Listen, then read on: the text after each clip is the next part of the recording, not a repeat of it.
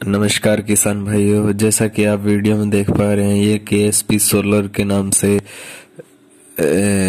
एक कंपनी आवारा पशुओं से बचने के लिए सोलर सिस्टम तैयार करती है, जो वायर के थ्रू चारों ओर खेत के एक तार घेरा बनाया जाता है तार का, और इनमें करंट छोड़ा जाता है जिनसे आवारा पशुओं से बचा जा सके।